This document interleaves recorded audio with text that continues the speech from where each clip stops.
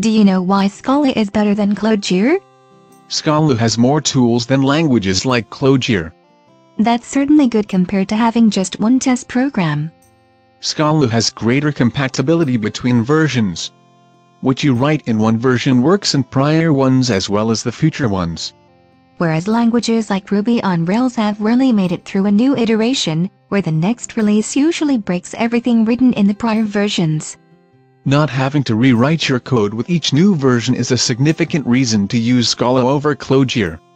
I've heard Clojure is not considered as mainstream of a language like Scala. Mainstream languages gain a lot like software with large market share. They have more tools to support them due to the size of the consumer base and resources. Why does Scala have more users than Clojure? That's probably because Clojure is the next generation of Lisp, and that's a niche enough language. Sheer numbers are not validation of anything except marketing. Why else do you think Scala is better than Clojure? Scala is more efficient than Clojure. Good programming practices can more than make up for efficiency in the commands used. Scala has a stronger static type system that can make it harder to make mistakes with variables. And a lot of flexibility can make it easy to shoot yourself in the foot. Scala has a lot more accidental complexity.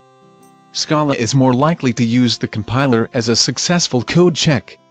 If Scala compiles, you know it probably works when you run the executable. You need to run through user acceptance testing too, not just assume it is good because it compiles. Clojure is smaller than Scala. Scala is the larger language. Clojure has a more coherent design.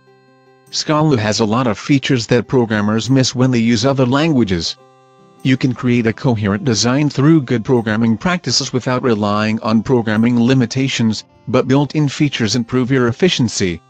I suppose if you think Scala makes your life easier in the end, that's a good reason to use it. No, just the part one I'm paid for.